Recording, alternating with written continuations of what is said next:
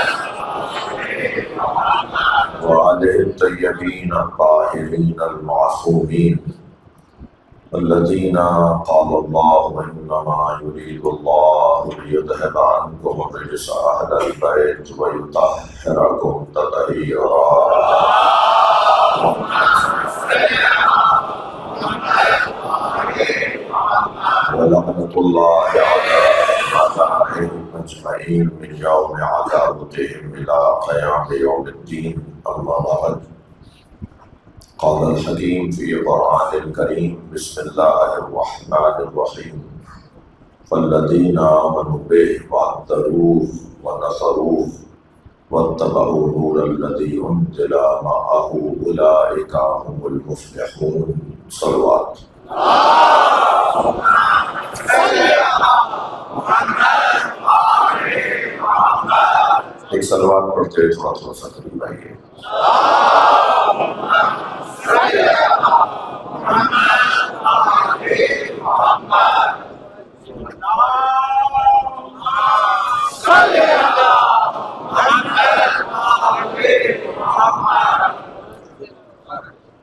सूरह मुबारक। आराफ आयत नंबर एक सौ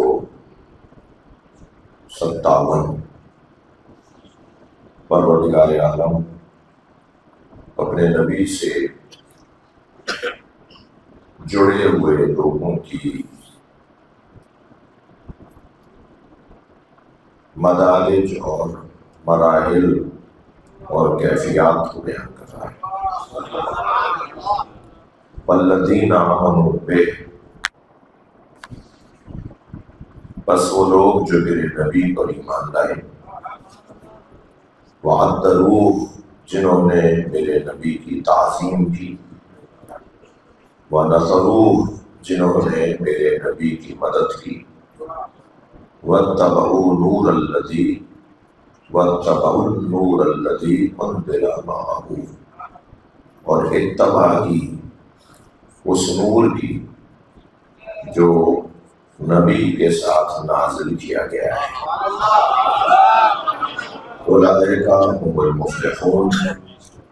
यही लोग के जो नबी पर ईमान लाए, जिन्होंने तज़ीम की, जिन्होंने नुसरत की और जिन्होंने नबी के साथ नाजिल होने वाले नूर की इतबा की, यही लोग, यानी ये चार सिफात के हामिल लोग यही लोग बुलाए मुफ्लिहून फलाह पाने वाले लोग। याद रहे, हर आदमी इंसान नहीं है। और हर इंसान मुसलमान नहीं है। और हर मुसलमान मोमिन नहीं है। और हर मोमिन ने नबी की ताजीम नहीं की। और हर ताजीम करने वाले ने नुसरत नहीं की। और हर नुसरत करने वाले ने नबी के साथ नाजिल होने वाले नूर की तबा नहीं। ये संगीनी बढ़ती जा रही है। ये फलाह पाने वालों की कैफियत है जो अल्लाह बयान कर रहा है। नमाज़, रोज़ा, हज, जक़ात किसी मकसद के तहत वाजिब किया गया है।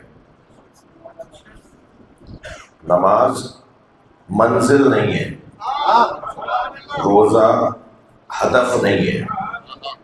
बल्कि ये एक और चीज़ हासिल करने का ज़रिया है। या अयुल्लदीन आमनु, कुतिबा अलैकुम सियाम कमा मिन तुम पर रोज़ों को ऐसे फ़र्ज़ किया गया है जैसे तुमसे पहले वालों पर फ़र्ज़ किया गया। लाकुम तत्तकून ताकि तुम मुत्तकी हो जाओ यानी रोजा फ़र्ज़ हुआ है ताकि रोज़े के ज़रिए से तकवा को हासिल किया है तकवा रोज़े का नतीजा है तकवा नमाज़ का नतीजा है तकवा हज का नतीजा है तकवा भी मंजिल नहीं है जी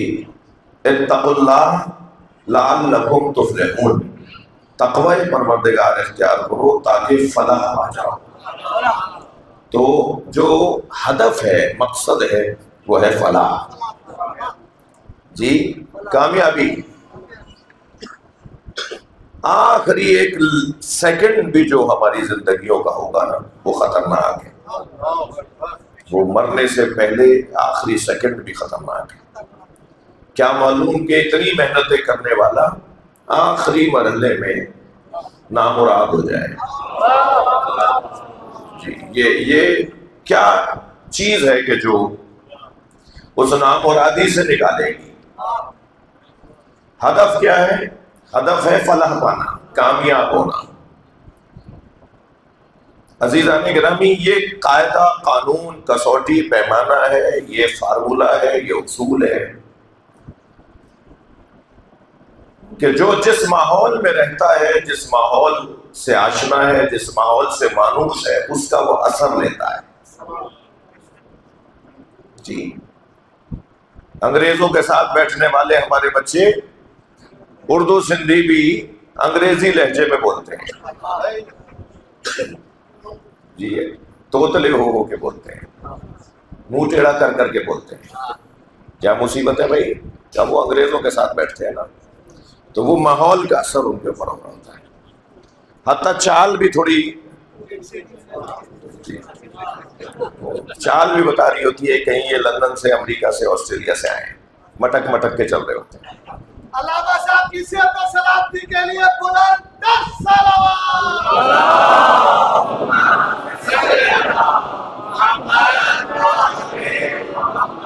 हम हम इंसान है ना, इंसान, ये बात बहुत ही मानूस है जो मैं कर रहा हूँ कि हम असर पजीर भी हैं और असर गुजार भी हैं। जी, हमारे मिजाज में असर गुजारी भी है, हमारे मिजाज में असर पजीरी भी है। जिस जिस चीज़ में हम कमज़ोर होते हैं, उसमें असर पजीर होते हैं। जिस जिस चीज़ में हम मज़बूत होते हैं, उसमें हम असर गुजार होते हैं। जो खुद हमारे दरमियान, हमारे अंदर कमज़ोर चीज़ होती है, हम उसके अंदर किसी और से असर लेते हैं। और जिस चीज़ में हम मज़बूत होते हैं, पक्के होते हैं, पुख्ता होते हैं, उसमें हम असर छोड़ रहे होते हैं। तो ये इंसान का ये फितरी मसला है। ऐसा हमेशा है, हर जगह है, हर एक के साथ है। तो मसलन जो पंजाब में फ़र्ज़ कीजिए हमारे सिंधी रहते हैं, उनका लहजे में, वो सिंधी ज़बान बोलेंगे, मगर लहजे में पंजाबी लहजा होगा। ऐसे ही मिसाल के तौर पर कोई अगर फ़ारसी ज़बान, जिसकी मादरी ज़बान फ़ारसी है, वो मसला अगर सिंध में रहेगा तो उसका लहजा खुद हमें बाज़ अवत लोग कह रहे होते हैं, आप आपके लहजे में सिंधी है, सिंधी लहजा है आपका। जी, क्योंकि साथ रहते हैं, लहजे का असर है, इंसान असर पजीर है, और फिर जो चीज़ या अच्छी हो, या बहुत सारी अच्छी चीज़ों में से कोई एक अच्छी हो तो उसे भी इंसान कबूल कर रहा होता है। ये इंसान की फितरत है। ये फितरी तौर पर इंसान है। हती जानवर भी इंसानों के साथ रहते हैं तो वो इंसानों की बोली बोलना शुरू हो जाते हैं। आप देखिए, मसलन जो ऑस्ट्रेलिया का तोता है, वो अंग्रेज़ी में बोलता है। जी, जो जो तोते बोलने वाले तोते हैं, वो वो उनकी जबान में बोल रहे हैं। वो माहौल हाँ हाँ ऐसे ही है। वो अंग्रेज़ी के अल्फाज बोल रहे होते हैं। और हमारे जबान वाला वो हमारी जबान सीख लेता है वो असर लेता है। वो मैं एक मिसाल दे चुका दे चुका हूँ एक मजलिस में मिर्ज़ा असदुल्ला गालिब दिल्ली में एक जगह से दूसरी जगह जा रहे थे। उन्होंने तांगा रोका पैसे तय किए मुझे उस महल्ले तक पहुँचा दो उसने कहा जी ले जाऊँगा। आधे रास्ते में मिर्ज़ा साहब ने कहा कि मुझे उतार दो मुझे तुम्हारे साथ नहीं जाना। उसने कहा जी अभी तो वो महल्ला दूर है। कहना नहीं वहाँ तक मेरी उर्दू खराब हो जाएगी। वो जो तांगे वाला बोल रहा था उसका असर उनके ऊपर हो रहा था। खुद मेरे साथ गुजरा मुफ्ती इनायत अली शाह मकाम बहुत बुज़ुर्ग आदिम थे हमारे। उन वो शराय की ज़बान थे, मैं उनके साथ दो महीना उनकी शागिर्दी में रहा। तो वो जब मैं उन वो चले गए और हम तो मेरे पास दोस्त कहने लगे, भाई, तुम्हारे लहजे में सराय की सराय के लहजा है तुम्हारा।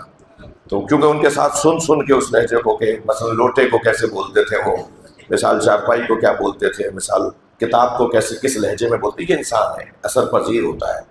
असर को कबूल करना होता है। ऐसे ही अजीज़ा ने ग्रामी, यहाँ फलाह हदफ और मकसद है। फलाह वो पाएगा जो उससे जुड़ा हुआ होगा, या उसके साथ रहता होगा, या उसके ज़िक्र में बैठता होगा, जिसने ये कहा फुस्को रबिल का।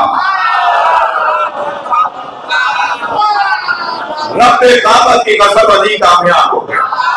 सरवा पढ़े मोहम्मद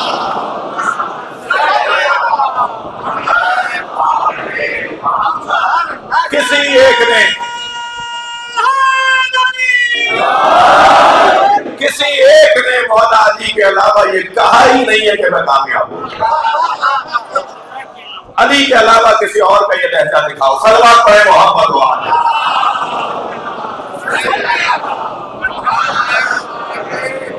अली के अलावा किसी ने ये दावा ही नहीं किया, मैं कामयाब हो गया। बल्कि बड़े बड़े लोगों ने ये कहा कि मैं इस दुनिया से ऐसे जा रहा हूँ, मैं इस दुनिया से वैसे जा रहा हूँ। लेकिन वाहिद फलाह पाने वाली जात अगर कोई है तो वो मौला नहीं तो अब अगर हमें, हमारा हदफ क्या है? हमारा मकसद क्या है? फलाह। हमारा मकसद जो है, कामयाबी है। जब हमारा मकसद और हमारा हदफ कामयाबी है तो उससे दोस्ती करना होगी कि जो कामयाब गया। ये ये ये बहुत रोशन और मोटी सी बात है। क्या होना है? नबी पर ईमान, नबी की ताजीम, नबी की नुसरत और उस नूर की तबाह जो नबी के साथ नाजिल हुआ। मेरा मजमून ये नहीं है कि नबी नूर है, ये मैं इन बच्चों पे साबित करूँ।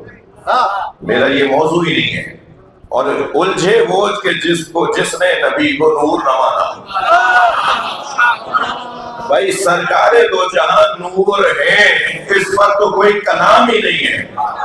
मैं तो मौला अली के नूर होने को कुरान से बता मौला अली का वजूद नूर है। अल्लाह कुरान में कह रहा है, वत्तबऊ नूर अल्लज़ी उनज़िला माअहू सलवात पढ़ने जरा मोहम्मद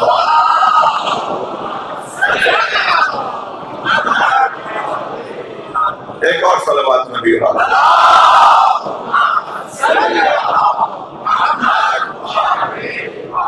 तवज्जो कर देखिए, कुरान मजीद हमें जिसके दरवाजे पे ला ला के, ला ला के खड़ा करता है। जी, अल्लाह जिसके दरवाजे पर हमें बार बार लाके खड़ा करता है। ऐसा लगता है जैसे जी, बिसरे भूले, बिसरे खोए हुए, गुम हुए हुए लोगों को कोई पकड़ पकड़ कर ढूंढ ढूंढ कर लाकर उसके घर पहुँचाए। ये वाला काम ऐसा लगता है, अल्लाह बार बार ये कर रहा होता है। कुरान की हर दो आयतों के बाद ये काम अल्लाह का कलाम कर रहा होता है कि लोगों को, खोए हुए लोगों को पकड़ पकड़ के अली के दरवाजे में खड़ा हदफ और मकसद एक और सलवात पढ़ने नबी की नाम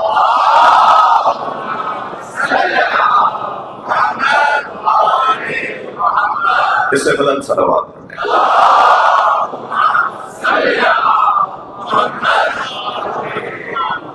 यानी यानी यानी अल्लाह ये चाहता है कि सब इस दरवाजे पर आ और जब अल्लाह ये चाहता है तो खुद बखुद अल्लाह का रसूल भी यही चाहता है।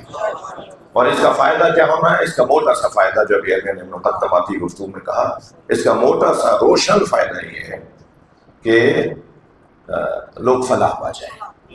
कामयाब हो जाए। अंजाम खात्मा बिल खैर हो जाए। आखिरत सही हो जाए। कल बेहतर हो जाए। मुस्तकबिल अच्छा हो जाए। इन बच्चों से हम कहते हैं, पढ़ लो ताकि तुम्हारा कल अच्छा हो जाए। आज मेहनत कर लो ताकि तुम्हारा मुस्तकबिल संवर जाए। यही कुछ कुरान मजीद में अल्लाह कह रहा है कि आज तवज्जो कर लो ताकि कल तुम्हारा बेहतर हो जाए। आखिरत तुम्हारी लालकुम तो फिर आखिरत तुम्हारी बेहतर हो जाए।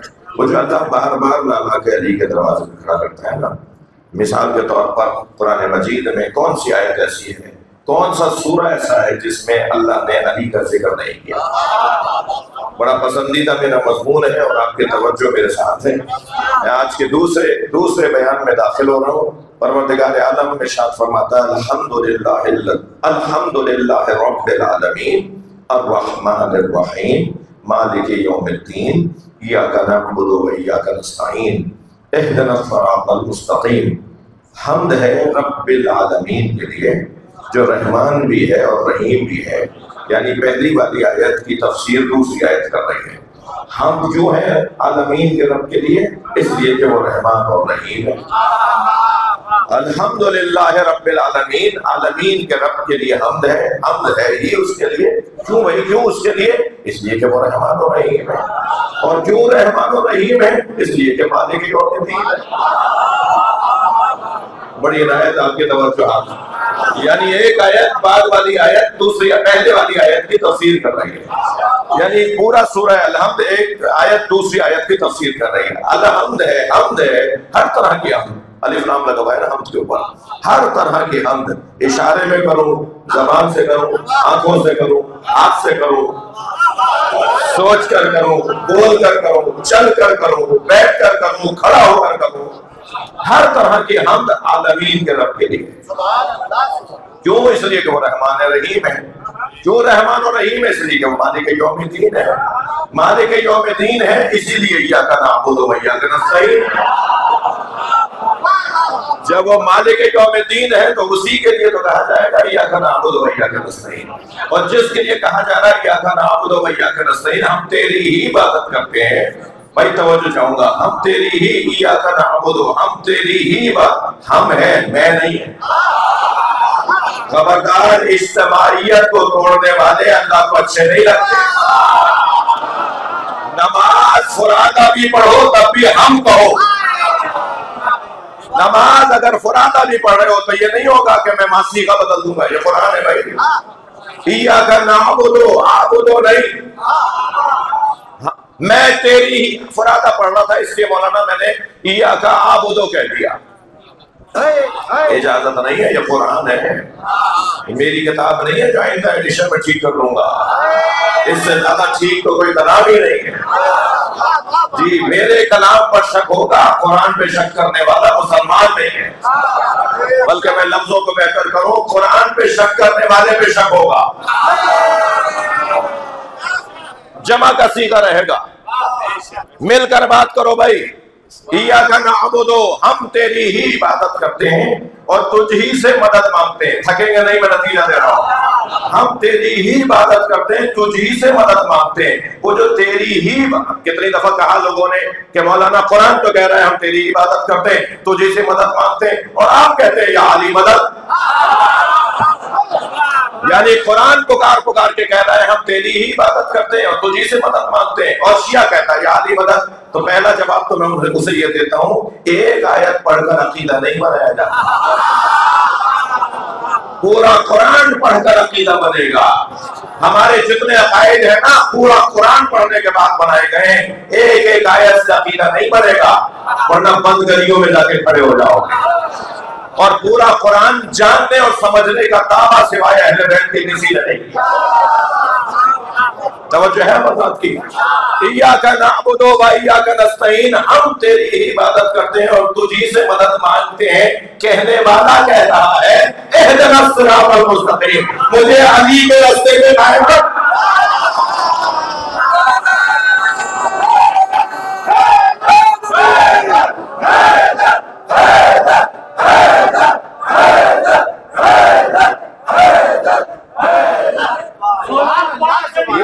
कम क्यों है आज? लाइटें क्यों कम है? अगर खुदा का मोहम्मद का न था होती भी तो किस तरह कायम नमाज़ होती? अल्लाह का घर तो बनाता मगर इमाम न था। तवज्जो कर लिया आपने। अली का कुरानी नाम सिरात मुस्तकीम। थक रहे हैं आप मेरी बातों से। मैं अपने मजमून में दाखिल हो गया। मौला के अलकाब पर गौर करना का इरादा है इस खमसे के अंदर।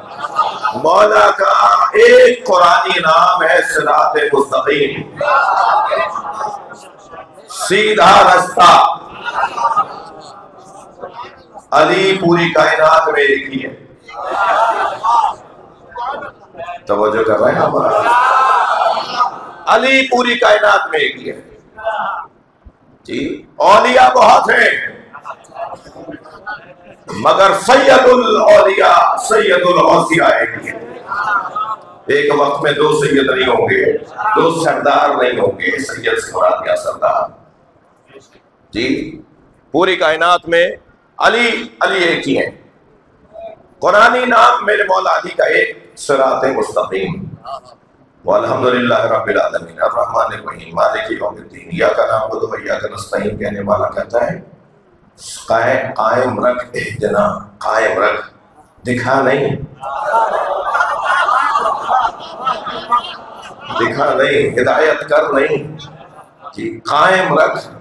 कहा?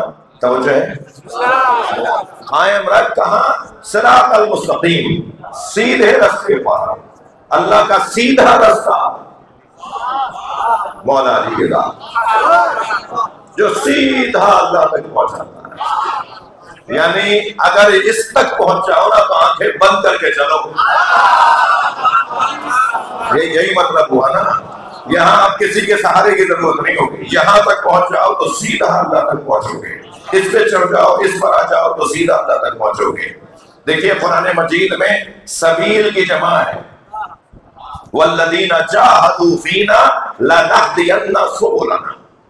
जो हमारी राह में जिहाद करते हैं, हम उन्हें रस्ते दिखाते हैं। लिहाजा सबील की जमा सुबुल, मगर सिरात की जमा नहीं आई। इसलिए कि शहबाज कलंदर जैसे और कलंदर है, अली जैसा कोई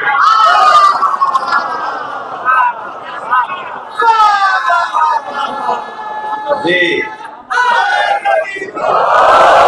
इसलिए कि शाह लतीफ बिटाए रहमतुल्लाह जैसे और हैं, इमाम बरी जैसे और हैं, हज़रत अब्दुल्ला शाह गाजी जैसे और हैं, मगर अली जैसा कोई और नहीं। तो इन सब के लिए सबुल का लफ्ज आएगा। ये सब अल्लाह की सबुल है। ये सब अल्लाह के रस्ते हैं, मुख्तलिफ़ रस्ते हैं, जो एक बड़े रस्ते पे डालते हैं। हाँ इन सब का काम भी एक बड़े रस्ते पे डालना है। तभी तो जाके देखिए, सिवाय अली के कोई बात ही नहीं करते। इनका मौजू है गुफ्तगू ही अली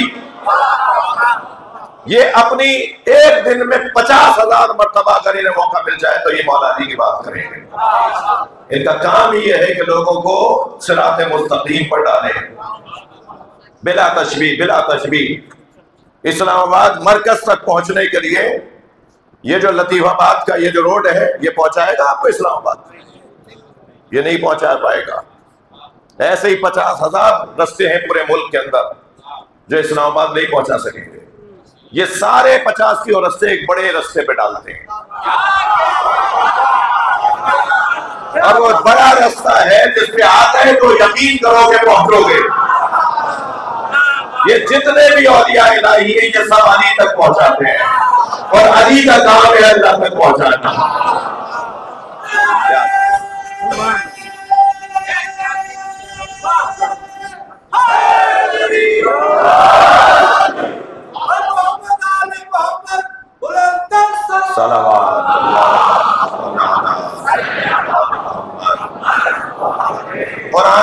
एक नाम। अच्छा एहदना कहकर अब सारी बातें अली की होंगी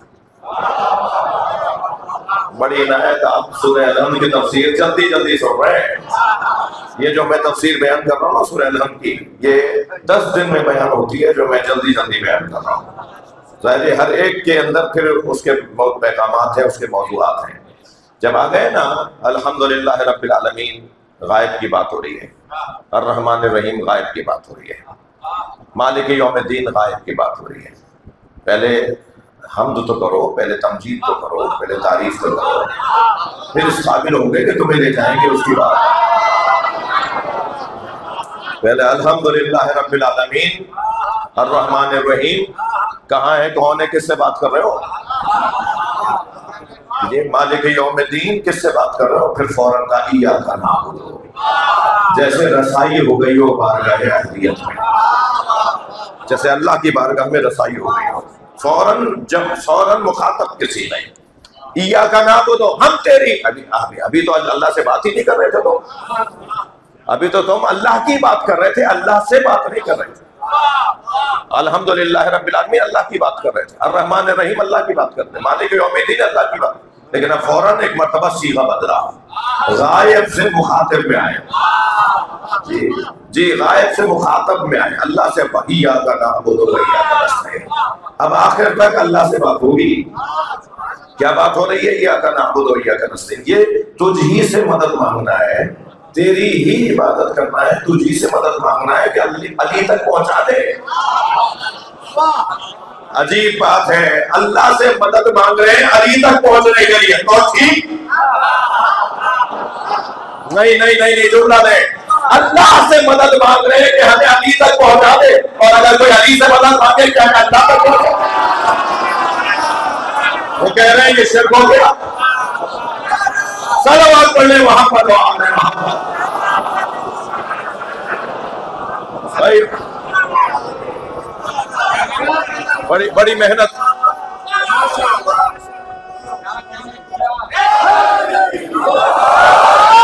अजीब बात नहीं है। यानी इतना मुश्किल काम है। कि अल्लाह से मदद मांगी जाएगी कि अली तक पहुँचा दे। हाँ बड़ा मुश्किल काम है। जगह जगह बैरियर खड़े हैं। सलवात पढ़ने जरा मोहब्बत माने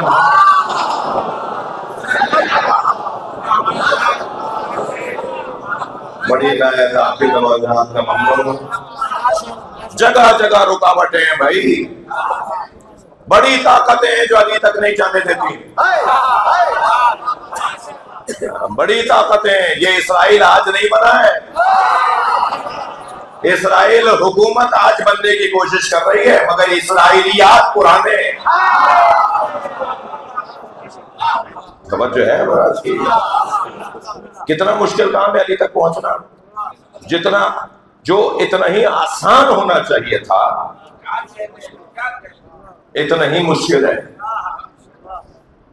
पर्दों पे पर्दे, पर्दों पे पर्दे, पर्दों पे पर्दे। रुकावटों पर रुकावटें। जी। मेरा कल एक सुन्नी बच्चा आज भी बड़ी तादाद में बिरादरा ने अहले सुन्नत तशरीफ़ फरमाया मैं हाथ नहीं उठवाऊँगा, वरना कहीं शिया सुन्नी में मुकायसा शुरू ना हो जाए। पहली बार आपकी मजलिस सुन रहे मेरा बच्चा मेरी जान। मेरे अहले सुन्नत देवबंद से ताल्लुक था मेरे साथ कंपनी में काम करते हैं माशाल्लाह माशाल्लाह।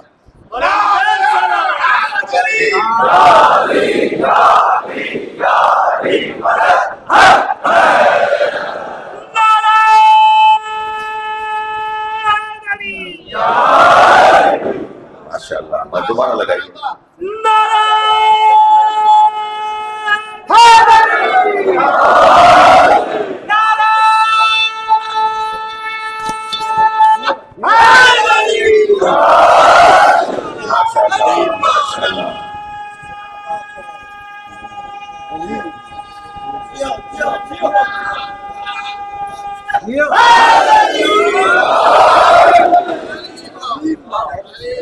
अल्हम्दुलिल्लाह। मेरे साथ के जी। जी जी। क्यों आपसे ज़्यादा क्यों है? है है? ये- इसका जवाब क्या है हाँ। ये वो साथ सारा दिन बस अली अली करता है। जी जी। सुबह के साथ दिल मौला सुबह के मौला हर एक मीजान में तोला हर एक मीजान में तोला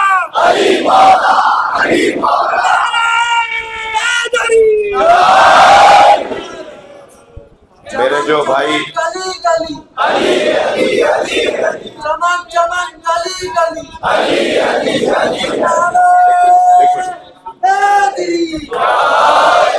अब आप बोलो आप बोलो।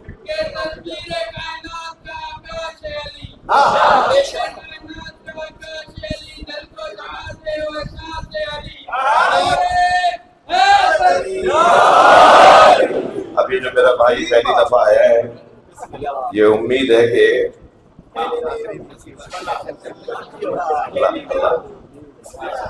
उम्मीद है कि ये हमारी कोई बात इसके लिए नामानूस नहीं होगी। हमारी बात नई तो लगेगी, मगर बुरी नहीं लगेगी। सलवार पड़ेगा मोहम्मद वाला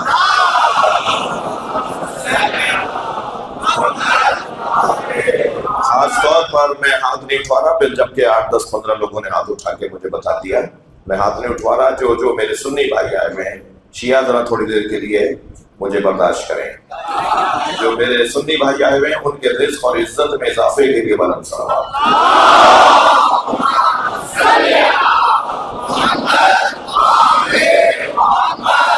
अब भाई कहीं शिया सुन्नी ना हो जाए। ये मौलाना तो दुआ ही सुन्नियों के लिए करा तो जी तो तो अब अब वो, अब शिया और सुन्नी दोनों भाइयों के रिस्क में, इज़्ज़त में इजाफे के लिए बलंद सलाम।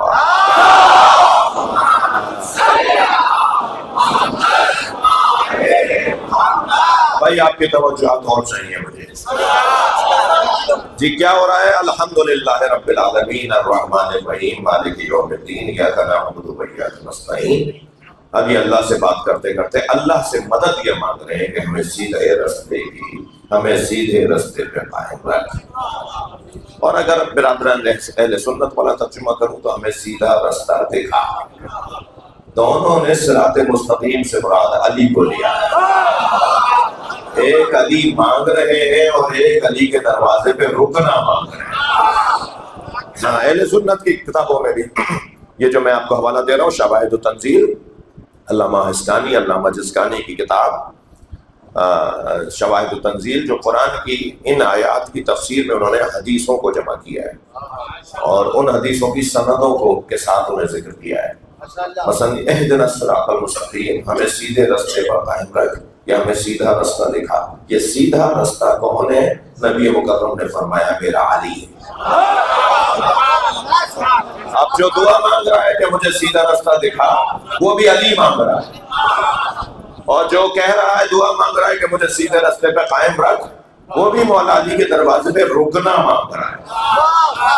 दोनों अली मांग रहे हैं। यानी अल्लाह से मदद ये मांग रहे हैं कि हमें सीधे रास्ते पर कायम जी, हम तेरी ही इबादत करते हैं, तू जी से मदद मांगते क्या मदद मांगते हो, वो तो बता दो।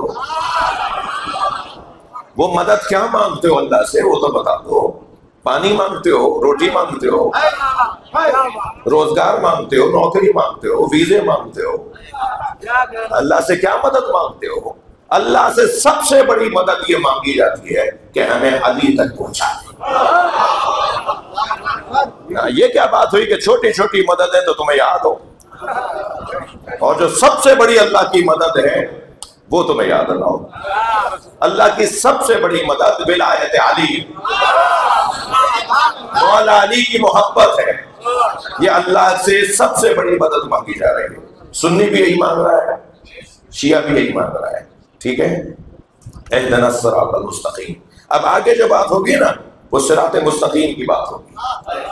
सिरात मुस्तकीम, अब बात सारी सिरात मुस्तकीम है। अलैहिम। उनका रास्ता जिस पर तूने नेमतों को नाजिल किया। थक गया मेरी बात। हाँ, इस जाविये से कुरान के सूर्य की देखें ना। कौन सा रास्ता किस रास्ते पे कायम रख? वो रास्ता जिन पर तूने उनका रास्ता जिन पर तूने अपनी नेमतों को नाजिल किया। सिरातल लदीना अनअमता अलैहिम गैरिल मगदूब अलैहिम और तबर्रा किसे कहते हैं?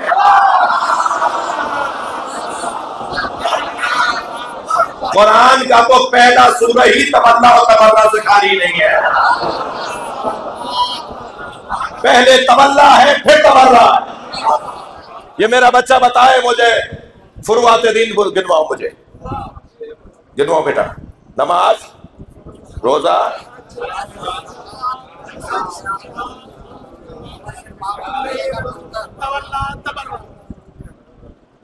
पता नहीं किसने क्या बताया।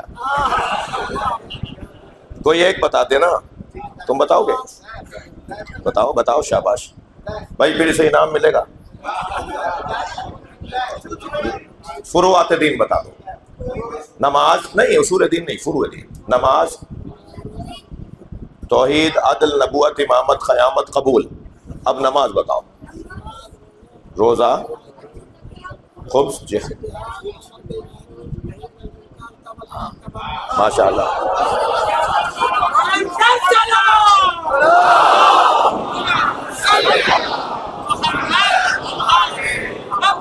यही तो परेशानी है कि इनका बच्चा भी पूरा दीन जानता है।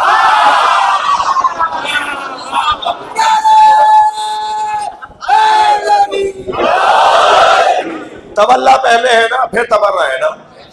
भाई, थोड़ा गर्दन हिला दो जी तबल्ला पहले है, मोहब्बत, विलायत तबल्ला पहले है तबर्रा बाद में मैं यहाँ से अगर पूछना शुरू करूँ और बताना शुरू करूँ, जिन्हें मैं जानता हूँ, और वहाँ तक अगर मैं बताता रहूँ, हर दूसरा बंदा डॉक्टर बैठा है। हर तीसरा बंदा इंजीनियर बैठा है। हर चौथा बंदा जो है, बस सत्रहवें ग्रेड का अफसर बैठा है। हर पांचवा बंदा जो है, दो सौ एकड़ का जमींदार बैठा है। हर छठा बंदा जो है, वो दो करोड़ की गाड़ी सोच रहा है। इतने मुहज्जब लोग गालियाँ देंगे।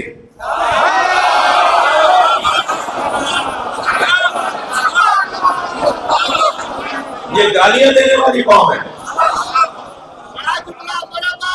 तबर्रा का मतलब गाली नहीं है। हमें गाली आती नहीं है। ये तो काम तुम्हारे बड़ों का है।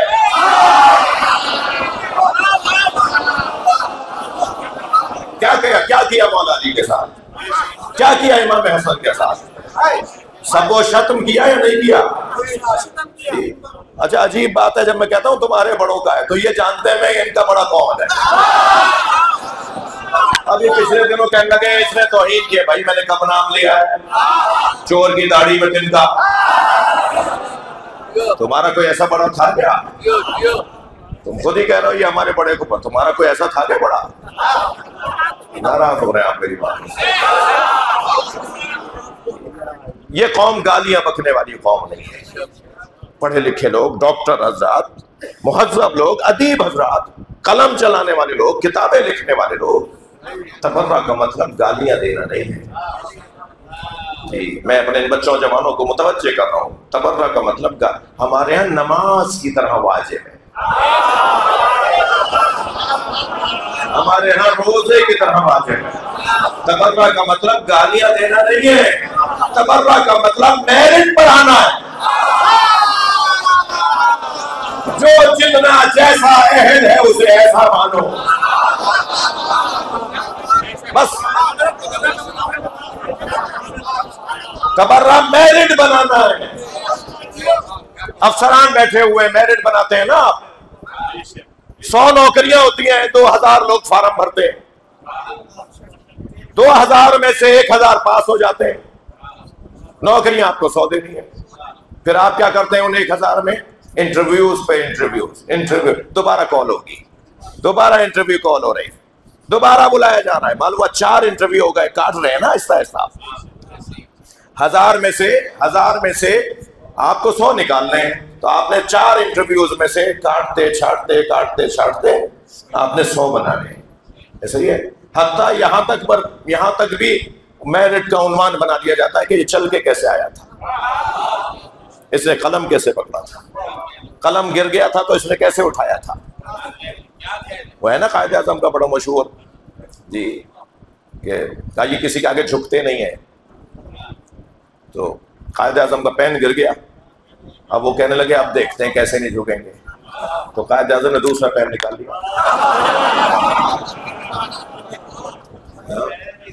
जब पहले से पता हो ना कि ये ये चीज़ें भी महसूस की जाएँगी तो फिर तैयारी इतनी ही होनी चाहिए। यानी अगर मेरिट बनाने वाले सख्तियाँ बढ़ा रहे हैं तो मेरिट पे आने वाला भी तो समझदार हो। तैयारी करके जाओ। मैं जवानों को मैं इशारे दे रहा हूँ। तो वो मालूम है, मैं वो एक मरतबा सौ को निकालना है हज़ार में से सौ को। छांटते छांटते छांटते छांटते सौ बना लिए। भाई थके नहीं जुमला है। अल्लाह ने सारी कायनात के वलियों में से मेरिट बना, बनाकर जिसे सबसे ऊँचा देखा उसे अली का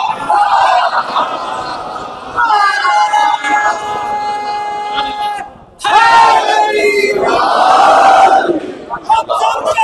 सबका मौला हम सबका मौला आदम का मौला ईसा का मौला मूसा का मौला नबियों का नासिर सारा का शोहर हसनैन का बाबा नमस्त कलंदर नमस्त कलंदर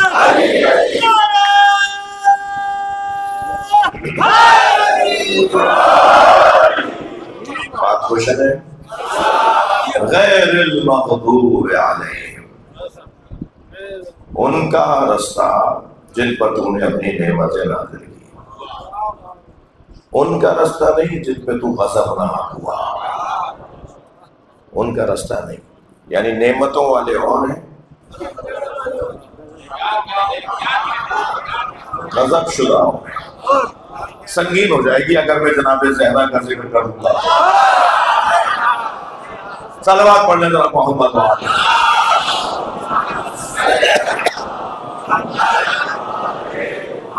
भारी हो जाएगी बात। सलवात पढ़ने जरा नबी के साथ।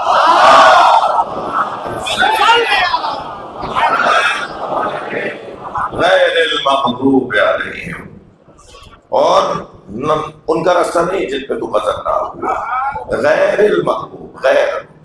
उन, उनका नहीं जो मगजूब थे उनका नहीं। वला तो और उनका भी नहीं। यानी मगजूब और है गुमराह और है। ये दो दो लोगों का ज़िक्र किया है। और गुम गुमराह लोगों का भी रास्ता नहीं चाहिए हमें। वला तो अब यहाँ पर आप हमारे भाई कहते हैं मिलकर आमीन। ठीक है? और आप क्या बोलते हैं? अल्हम्दुलिल्लाह। सलवात पढ़ने जरा मोहम्मद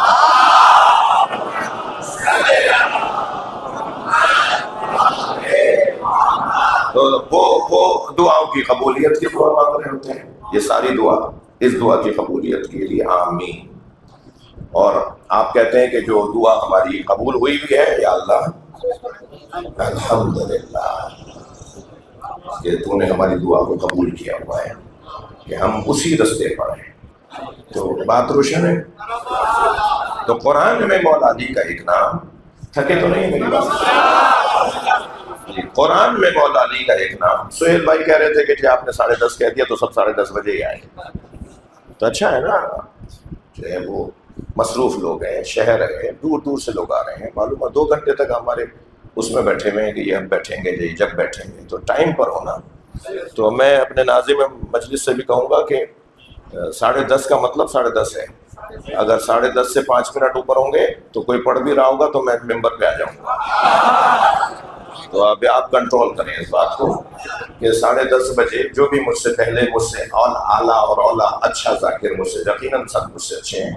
जो मुझसे पहले पढ़ रहे हैं, वो साढ़े दस बजे जो है, वो मेंबर छोड़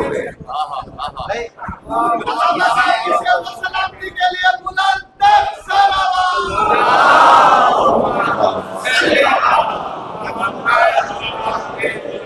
अब मैं थोड़ा सा वो हो रहा हूँ कि मुझे जो बात करनी थी वो अभी बात, मैं मुतमईन नहीं हूँ उससे। यानी बात और होनी है। मैंने आपका दो घंटे बचाए, साढ़े दस का टाइम बता और आप साढ़े आठ बजे आ जाते तो अब मुझे कम से कम पौने दो घंटा पढ़ने।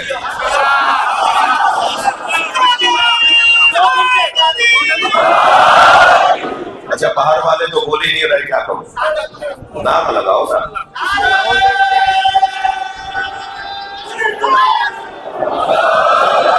मिलकर सलामत।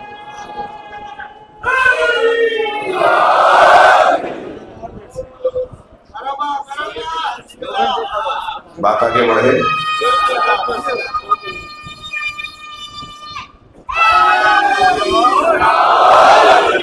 में मौला अली का नाम सिरात मुस्तकीम। अली सबसे बड़ा रास्ता है। लिहाजा ये वो कोई बात में, मेरे सुन्नी बच्चों, ये कोई बात में नहीं नहीं कर रहा। ये हमारे कुछ अहले सुन्नत बरादरान बैठे कि जितने भी अल्लाह के वली हैं ना, उन सब का सब सिलसिला विलायत अली है। उन सब की जो विलायत के जो मरहले हैं ना, मंजिलें हैं, कि उन्होंने उनसे बैत है, वो उनसे बैत है, वो उनसे बैत है, आखिर में जाकर बहुत होगा तो सैयद, बहुत होगा तो हसन बसरी बनेंगे ना। यानी ये ये जो आठ सिलसिले हैं ये जो इनमें जो है ना, वो इनमें ज्यादा- ज़्यादातर जो है, वो हज़रत हसन बसरी तक पहुँच रहे हैं। हत्ता एक सिलसिला है जो हज़रत अबू बकर तक पहुँचता है। तो फिर हज़रत अबू बकर से भी पूछ लेते हैं कि आपका हुआ मौला कौन है? जितने जितने वो सब मौला अली तक जाके पहुँचते हैं। सबकी शाखें शाखें बनती बनती एक जगह पे जहाँ पहुँचती है ना, वो जगह अली है। जहाँ सारे वलियों का जाकर कमाल होता है। वो मौला अली के साथ एक है सिलसिला जो हज़रत अबू बकर तक पहुँचता है। तो हज़रत अबू बकर से पूछ लेते हैं तो हज़रत अबू बकर फरमाते हैं, लम तलिद निसा मिसला अली अबी तालिब। कायनात में कोई औरत ही नहीं है जिसने अली जैसा बच्चा जना मैं सलवार पढ़ने मोहम्मद व आले मोहम्मद।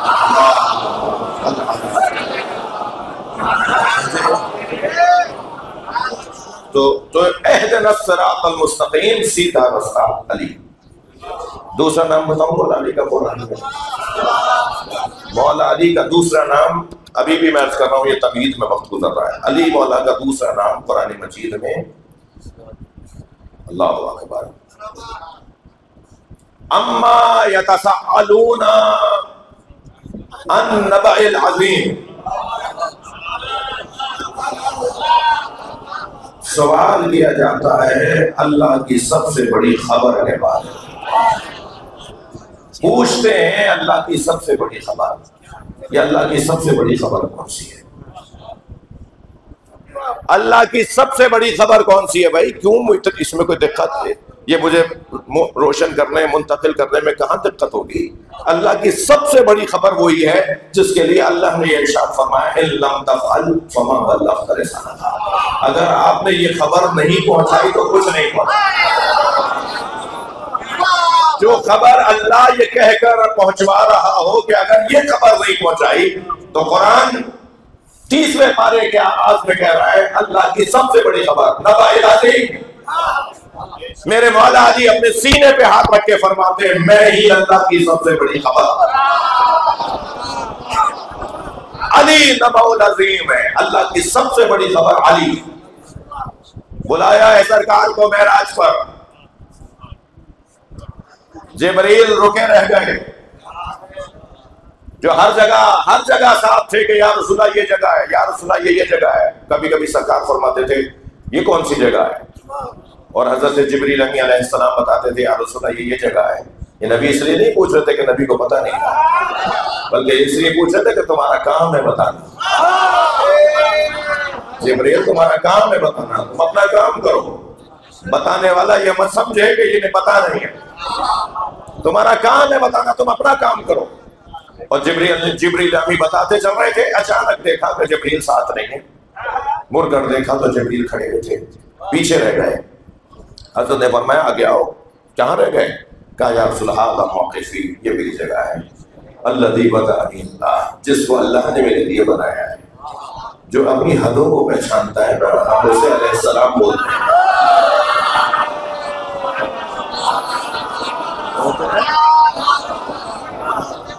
जो अपनी हदों को पहचाने, उसी का तो हक है। कि उसे अलैहिस्सलाम बोला जाए और जो आगे निकल जाए, उसको कैसे अलैहिस्सलाम बोलेंगे? क्या ये मेरी जगह है? मैं इससे आगे नहीं जा सकता। सरकार जब वहाँ तशरीफ़ ले गए तो एक मरतबा आवाज़ आई, खिफ या मोहम्मद इन रब्बका युसल्ली। ए मोहम्मद, रुक जाओ, तुम्हारा रब तुम्हारी तारीफें कर रहा है। और मान जाए सरकार की बात। ऐसा हसीन वजूद बनाया अल्लाह ने अपने मुस्तफ़ा का। ए मेरे मोहम्मद, रुक जाओ, तुम्हारा रब तुम्हारी तारीफें कर रहा है। तो जैसे ये आवाज़ आई ना खिफ या मोहम्मद इन रब्बका युसल्ली तो फ़ौरन रसूलुल्लाह ने फरमाया, खातबनी अल्लाह हमारे हाँ मुझसे अल्लाह बात कर रहा है अली?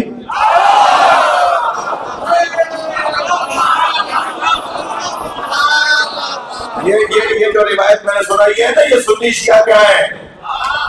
मैं ये कितनी दफ़ा आपसे कहूँ कि मैं कोई बात मिंबर से ऐसी नहीं करूँगा जो अहले सुन्नत की किताब में ना हो।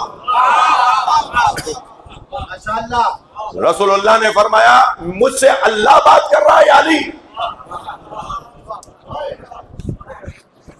तो आवाज़ आई खातब तो का बिलिसान अली। मैं अल्लाह तुमसे अली के लहजे में बोलता हूँ। सलवार पढ़े जरा मोहम्मद और आगे मोहम्मद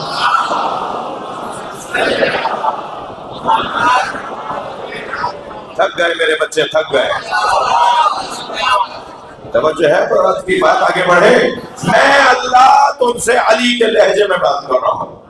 या रसूल अल्लाह ए अल्लाह के रसूल, ए मेरे रसूल, ए मेरे नबी, या अय्युहन नबी, या अय्युहन रसूल, मैंने तुम्हारे दिल में उतर के देखा कि उसमें रहता कौन है। मैंने तुम्हारे दिल के अंदर अली के अलावा किसी को पाया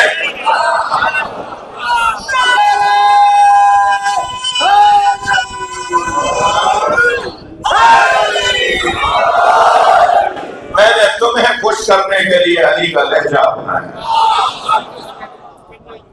अब यहाँ उलमाए कराम ने बड़ा हसीन बाब एक बांधा है कि हदीस में दो तरह की इबारतें आई हैं। खातब तो का? मैं बात कर रहा हूँ तुमसे अल्लाह। मैं अल्लाह बात कर रहा हूँ तुमसे बेलुगत आली है या आया है बेलिसान आली दोनों इबारतें आई हैं, मौलाना आपसे दुआ चाहिए। जी, दोनों इबारतें आई हदीस के अंदर। आवाज़ आई कि मैं अली की लुगत में बात कर रहा हूँ। और एक, या ये आवाज़ आई कि मैं अली की जबान में बात लुगत और है, जबान और है। अली मौला कौन सी लुगत में बात करते हैं? यानी अरबी में। मैं इस वक्त कौन सी लुगत में बात कर रहा हूँ? उर्दू में। मिसाल के तौर पर ये जिस जबान में बोल रहे हैं ना, उस जबान को लुगत की किताबें हैं, लुगत। लुगत फला लुगत की किताब यानी फला जबान की उर्दू की लुगत, अंग्रेज़ी की लुगत, सिंधी की लुगत, ठीक है? लुगत यानी जबान। जब अल्लाह ने जवाब दिया कि मैं तुमसे अली की लुगत में बात कर रहा हूँ तो इसका मतलब यह है कि मैं अरबी में बात कर रहा हूँ। थके नहीं भाई? और जहाँ ये वाली रिवायत अगर हम लें कि बेलिसान अली है मैं अली की जबान में बात कर रहा हूँ। जबान और है, लुगत और है। अली की जबान में अदब है रसूल के निस्बत मैं उस उस अंदाज से बात कर रहा हूँ जिस अंदाज में तुमसे अली बोलता है। अल्लाह अकबर। यानी अगर हम लिसान वाली इबारत को लें तो एक और मौला अली की फजीलत का बाप? और अली की फजीलत का बाप यह है कि अल्लाह को अली का लहजा, अल्लाह को अली का अदब, अल्लाह को रसूलुल्लाह के नस्बत मौला अली के साथ ताल्लुक इतना अच्छा लगा कि अल्लाह ने भी वही अपना लिया। एक जानिब तो अली के लिसान में अल्लाह बात कर रहा है, एक आ रही खबरदार। खबरदार ला तजहरू लहू बिल कौल का चाहे बात देखो मैं बात खबरदार मेरे नबी को ऐसे मत पुकारा करो, जैसे तुम आपस में एक दूसरे को पुकारते हो। कुछ लोगों की मजम्मत हो रही है तो किसी की तारीफ़। सलावत पढ़ने मोहम्मद व आले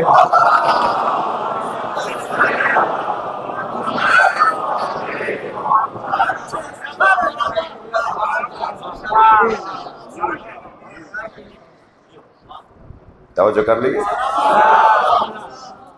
मौला का एक नाम, कुरानी एक नाम, नबउल अजीम, अल्लाह की सबसे बड़ी खबर। हम्म। अल्लाह की सबसे बड़ी खबर, बहुत वसी हो जाएगा मजमून अगर। सूरह नबा की तफसीर में जाऊँगा। सूरह नबा की तफसीर में, सूरह नबा की तफसीर तफसीर अली है। तो तो अल्लाह की सबसे बड़ी खबर, कि अगर ये खबर नहीं पहुंचाई तो आपने कुछ ही नहीं पहुँचाया। अगर आपने खबर नहीं पहुंचाई तो कुछ भी नहीं पहुँचाया। सरकार दो जहाँ ने सबसे बड़ी खबर विलायत अली पहुंचाई। बड़ी बड़ी बड़ी दो बातों, दो एतबार से बड़ी है। दो एतबार से बड़ी है। एक तो जो बड़ा काम होता है, जो बड़ी बात होती है, जो अहम बात होती है, उसे सजा कर एहतमाम से आखिर में बयान किया जाता है। लिहाजा गदीर में सजाया जा रहा है, माहौल बनाया जा रहा है, बड़ा इज्तम हो रहा है। तारीख इस्लाम का सबसे बड़ा इज्तम ही विलायत अली का इज्तम है। ऐलान गदीर सबसे बड़ा इज्तम है मुसलमानों का। लिहाजा बड़ी से मुराद एक तो यह है। दूसरे नबाउल अजीम से मुराद ये है कि इस खबर से मुतल मसाइल मुश्किल उलझने, परेशानियाँ, मसाइल का सामना करना पड़ेगा। बड़ी बात है भाई ये। वजनी काम है, आसान काम नहीं है। इसको हमल करना, इसको उठाना, इसको तहमुल करना, हर एक बस की बात नहीं है। ये वही विलायत अली नहीं है। जैसे आसमानों के हवाले किया गया तो उन्होंने कहा, हम नहीं उठा सकते। जैसे ज़मीन के हवाले किया गया तो कहा हम नहीं उठा सकते ये वही नबुल अजीम नहीं है। जैसे परवरदिगार आलम ने पहाड़ों के हवाले किया तो पहाड़ों ने कहा हम नहीं उठा सकते। रेजा रेजा हो जाएँगे मगर अल्लाह कह रहा है, इंसान ने उठा दिया और ये जुलूम मन जो बोला इसे पता ही नहीं था कि क्या उठा रहा है। इसे मालूम ही नहीं था कि ये अपने ऊपर ज़्यादा करेगा, अगर इसको समझेगा नहीं तो। लिहाजा आपसे मैं गुजारिश कर रहा हूँ, ये सोचना छोड़ दीजिए कि मौला अली की विलायत इतने लोग क्यों नहीं मानते? हर एक बस की बात दुख नहीं करो। दुख नहीं करो। हर एक के बस की बात नहीं है, विलायत अली को बर्दाश्त करना। जो, माफ़ कीजिएगा, मैं आप खुद समेत बात कर रहा हूँ, अपने आप को मिलाकर बात कर रहा हूँ। हम भी जितना अच्छा मौला के फजाइल सुन के नारा लगा रहे हैं ना, ज़रूरी नहीं है कि जब आजमाइश में मुब्तला हो। तो हमारी जबान से ऐसे ही नारा निकले जैसा बगैर आजमाइश के निकल रहा है। मुश्किल है ये काम। मुश्किल है। मुश्किल है। पाँच लोगों से ज़्यादा नहीं निकले, जिन्हें अली के अलावा कोई नज़र ही नहीं आता। था उनमें एक नाम हज़रत मैसा में तम्मार है। हुजैफा यमान है अबू जर गफारी है सलमान फारसी है, हज़रत मकदाद है। नबी ने जब अम्मार का नाम नहीं लिया तो किसी ने कहा, फल अम्मार या रसूलुल्लाह? आपने पाँच नाम लिए अम्मार का नाम नहीं लिया? तो फरमाया, अल अम्मार जाजा जीजतन एक लम्हे के लिए अली पे शक करेगा। तुम मताबा व फिर तोबा करेंगे और फिर रुजू करेंगे। जी, अल्लाह से तोबा करेंगे और अली की तरफ़ रुजू करेंगे। एक लम्हे के लिए अली बेशक करें तो फिर वो पाँच में नहीं रहता। कितना मुश्किल है? कितना मुश्किल है? ये ये जो जो अब तक की मेरी गुफ्तगु थी, ये विलायत अली, बेमाना मोहब्बत अली, जिसके लिए हम सब तैयार हैं। मगर भाई आसान काम है। मोहब्बत अली फिर आसान काम है। अलबत् बाज एतबार से देखें तो ये बहुत सी चीज़ों से बहुत मुश्किल है, लेकिन फिर आसान। विलायत अली बेमाना मोहब्बत आसान है। विलायत अली बेमाना हुकूमत। विलायत के दो माना है, मोहब्बत और हुकूमत। विलायत अली बेमाना मोहब्बत फिर आसान है। इतना बड़ा मजमा सुनेगा भाई, माइक पर बात होगी। नारा लगेगा चेहरों पे शादाबी आएगी। लेकिन जब विलायत अली बेमाना हुकूमत की बात आएगी तो बहुत सारे लोग कहेंगे अली चौथे हाँ बहुत सारे लोग कहेंगे नहीं मौलाना मोहब्बत तो पहली है मगर हुकूमत चौथी है। मुश्किल हो जाएगा। मुश्किल काम है अजीजो। मगर ये मुश्किल काम ये आमादगी ही तो है ये मजलिस। पहले पहले अली को तनहा किया गया। तो अली की विलायत की इतनी बात हो कि फिर दूसरे अली को जो तनहा किया, तीसरे अली को जो तनहा छोड़ा, चौथे अली को जो तनहा छोड़ा, ये जो ग्यारह अली तनहा रहे, अब बारवा अली आने वाला है। तो उनकी तैयारी हो। क्या नहीं है सलवात पढ़ने मामले लोग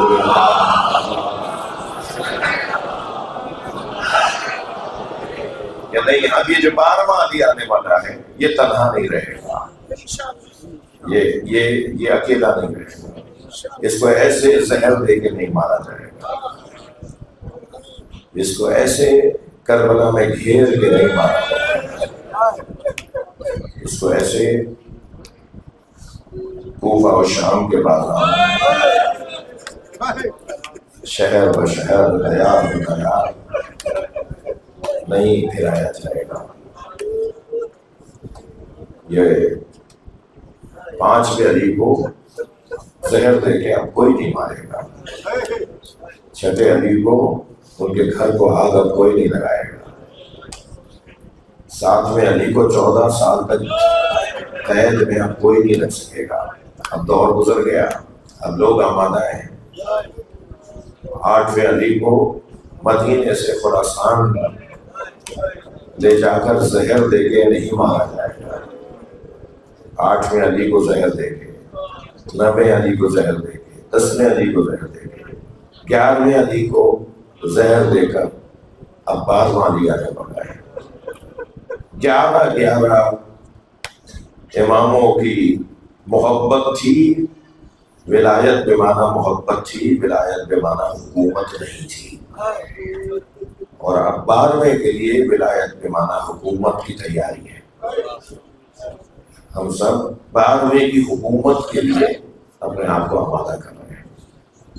बारहवा जब आएगा, हमसे अगर कहेगा कि तुम अपनी जायदाद हमारे फला चाहने वाले को दे दो, और बगैर किसी चूं चला के हम दे दें तो गोया हमने उसकी हुकूमत को माना। और अगर उससे भी हम ये कहें कि मैं क्यों दे दूँ, मैं उसे क्यों दे दूँ, मैंने तो बड़ी मेहनत से कमाया है तो फिर मोहब्बत तो है विलायत के माना में। लेकिन विलायत के माना हुकूमत फिर भी नहीं होगी। लेकिन नहीं इंशाल्लाह मैं सबसे पहले अपने लिए दुआ करूँगा। थोड़ा सा मफाद परस्त हूँ तो फिर आपके लिए दुआ करूँगा। हम सब एक दूसरे के लिए दुआ करें कि आने वाला। वो हमसे ज़्यादा मुंतजर है।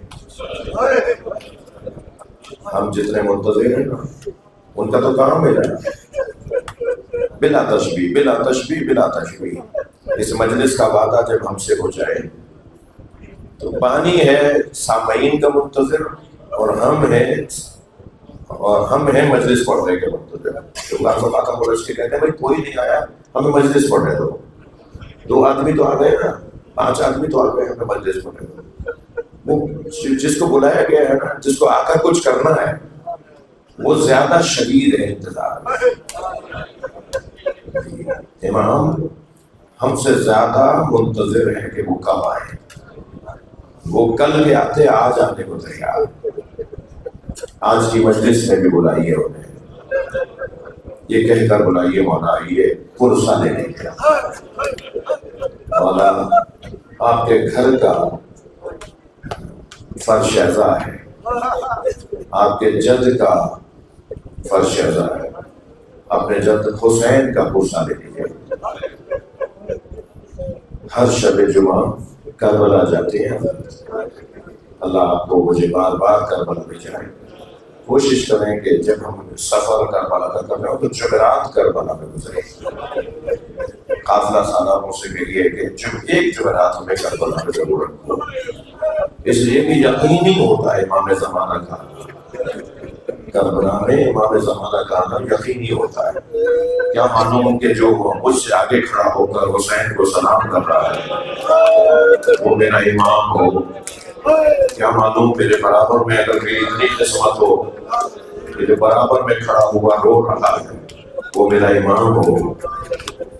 क्या मालूम कि जियारत करते वक्त दो हाथ जो पर एक साथ गए, उन हाथों में एक हाथ ईमान का हो, और मेरे बराबर वाली जगह पर अपना हाथ रख दिया हो।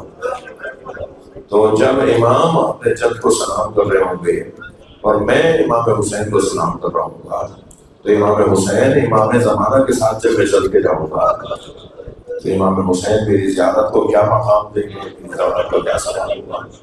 ये एक खास तस्वुर है ज़ीरो मेरे मौला ज्यारत नाहिया में एक ऐसा जुमला है जो मैं तो जब पढ़ता हूँ, मेरा हाल गैर हो जाता है।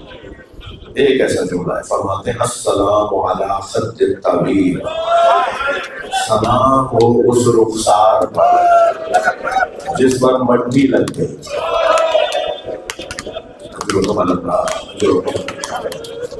सलाम हो उस रुखसार पर जब जनाब जहरा को औलादी ने खबर के हवाले कर दिया तो रिवायत कहती है बस आखत तो अला खबर औलादी ने अपना रुखसार सैयदा की कब्र पे रख दिया। और इतना गिरिया किया, इतना गिरिया किया कि अली की आँखों के आँसू से कब्र तर हो अजर बदला अजर बदला हद कहते हैं रुखसार को, सलाम हो उस रुखसार पर जिसमें मट्टी लगे। शायद तरीक का मतलब है तरीक का मतलब है गीली मट्टी। जिस रुखसार पर गीली मट्टी लग गई थी, मैं सोच रहा था ये गीली मट्टी कैसे होगी? करबला में तो पानी नहीं था। ये मौला हुसैन के रुखसारों पर गीली मट्टी कैसे लगी? तो मुझे जो बात समझ में आती है, वो ये आती है, जो सुन्नी शिया ने लिखा है कि जनाब जैनब ने इमाम हुसैन का बदन देखकर एक जुमला मर्शिए के तौर पर न, नाना को सलाम करते हुए कहा था, सल्लल्लाहु अलैहि वसल्लम या रसूल अल्लाह अल्लाह के रसूल है मेरे नाना रसूल, आप पर आसमान के फरिश्ते सलाम करते हैं। आपका हुसैन, ये है आपका हुसैन। लोग जो खाक और खून में जिसके मज़हब में रोना जायज़ है तो देंगे ये वाला जुमला मुझे समझाता है कि जब जनाब जैनब फरमाती है ना, जिसे खाक और खून में गलतान कर दिया, तब समझ में आता है कि इमाम हुसैन के रुखसार पे जो गीली मट्टी लगी थी ना, वो पानी से गीली नहीं थी। वो मट्टी पानी से गीली नहीं थी, वो हुसैन के बदन के खून से गीली वो अली अकबर के बदन के खून से गीली मट्टी, जो मौला हुसैन के रुखसारों पर लगी है। एक तो ये आपने महसूस कर लिया कि इस जुमले का ये माना है, एक और माना भी इसको होगा मेरे मौला हुसैन के रुखसारों की बात इमाम जमाना ने क्यों की है? सलाम हो रुखसारों पर जिन पे मट्टी लग गई थी। मेरे मौला जमान, जमाने के इमाम थे, इमाम जमाना ने इमाम हुसैन के रुखसारों की बात इसलिए की है कि जब हुसैन घोड़े से ज़मीन की तरफ़ आया तो पहले इमाम हुसैन का चेहरा जाके ज़मीन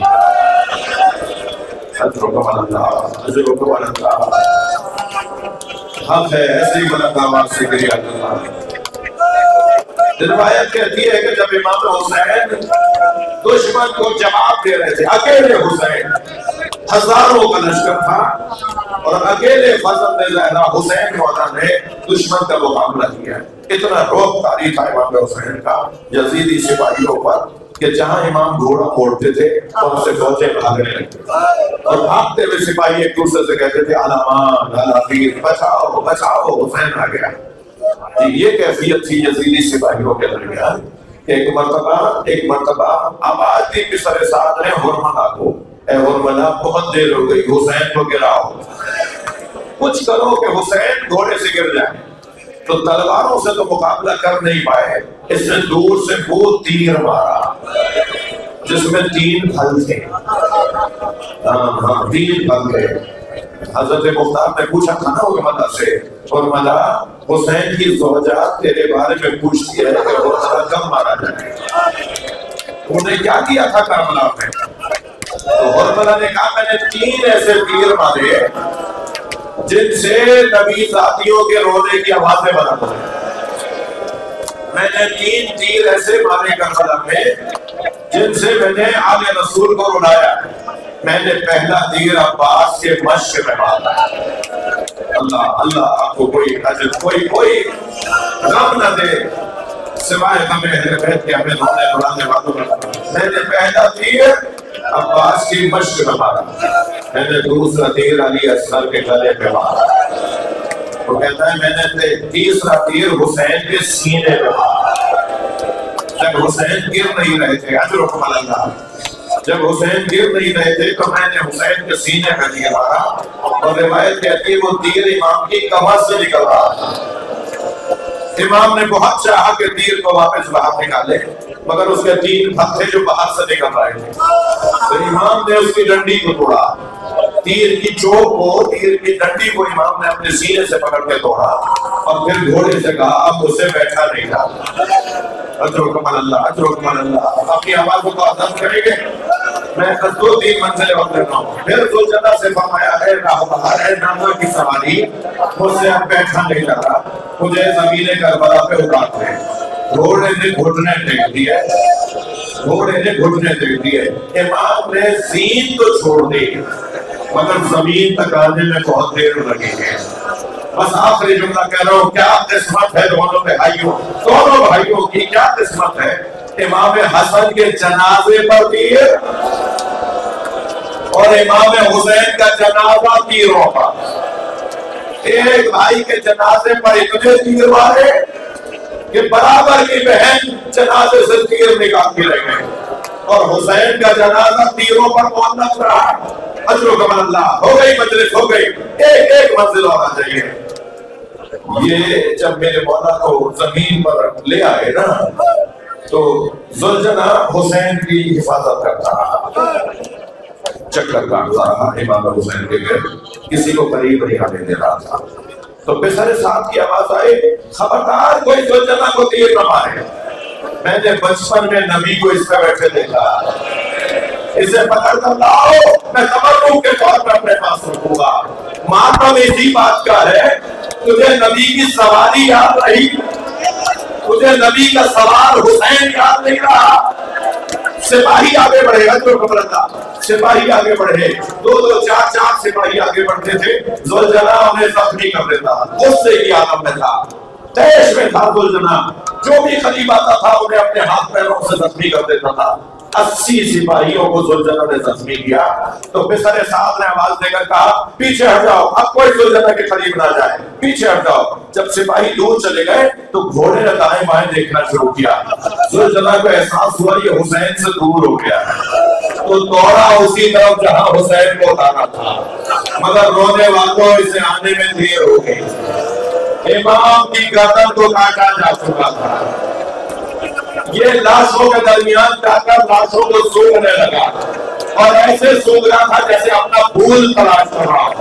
और उसी लाशे पे जाके रुका तो हुसैन मौला का लाशा था और एक मरतबा इमाम की रगों से जो खून निकल रहा था, उसने अपनी पेशानी को उससे रंगीन किया और ज़मीन करबला पर पैर मारने लगा, जैसे मातम कर रहा था।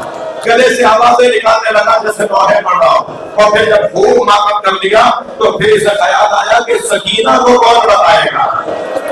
जैनब को कौन बताएगा कि हुसैन मारे गए?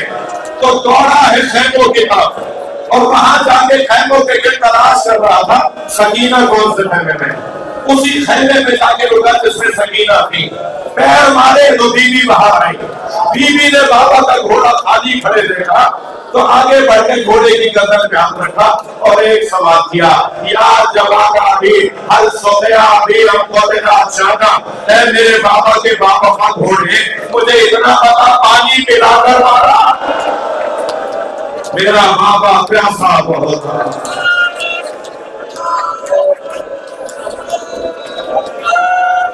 अल्लाह अल्लाह।